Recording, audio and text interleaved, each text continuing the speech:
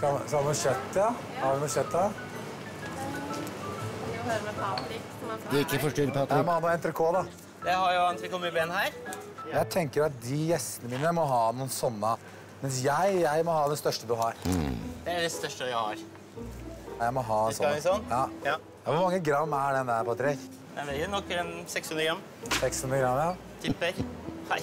1,1 kilo. 1,1 kilo. Det er helt innafor, faktisk. Ja, vi får se, da. Jeg skal ha mer enn alle gjestene til sammen. Det tror jeg faktisk. Da får de halvparten det du får. Du får halvparten av det jeg får. Det er helt perfekt. Sånn blir det. Bra. Du gjør noen merkelige valg her. Altså, du som vert skal jo sørge for at gjestene dine har det best mulig. Og du kommer da i annen rekke. Og her velger du da mest kjøtt til deg selv. Og ikke bare det, kvaliteten på det kjøttet du får, er mye bedre enn det gjestene dine får. Og er dette veien til mye poeng, da? Nei, det er ikke det. Fikk du inntrykk av at gjestene var fornøyd med forretten, Frank? Det var en der som Litt mye igjen. Ja, og vi vet hvem det var. Ronny. Nettopp. At du kan like eh, Liker nok ikke sjømat, tror jeg. Men eh, hvem er det som har etterlatt toasten sin her, da, tror du? Det. Ja, kanskje?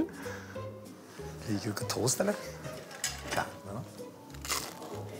Eh, var det noe galt med den? Er helt perfekt. Så kommer sjølveste Resten går til løken. Mm, Og hele den skal du dytte i deg. Jeg skal spise alt uten den fettkarmen. Den vet jeg ikke. Nei vel. Du har ikke glemt noe nå? Ja, nei, faen. Nettopp. Nettopp. Parmaskinken. Den så sprø ut. Så skal vi få inn den her, liksom. Nok en gang så er det store porsjoner, og din porsjon er jo enorm. Det er nesten ikke plass til noe annet enn selve kjøttet. Og så har du da sprøstekt skinken. Den står opp som et flagg, men hva har den der å gjøre? Flesk på kjøtt? Det trenger vi jo faktisk ikke. Men du har jo asparges her, og asparges rullet med spekeskinke bakt i ovnen, det er jo kjempegodt, og det blir liksom et ordentlig tilbehør, istedenfor da det umotiverte med asparges og spekeskinke hver for seg. Jeg savner soppstuing. Hvor ble det av den? Og potetene? Blir bleike. Så her, her kommer det. Oi! Vær så god.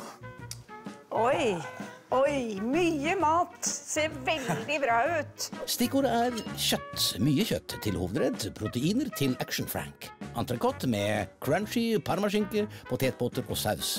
Uten soppstuing. Men hvordan får du den til å stå sånn? Det er eget triks, det, for å si det sånn. Det er et triks, ja. Så ja.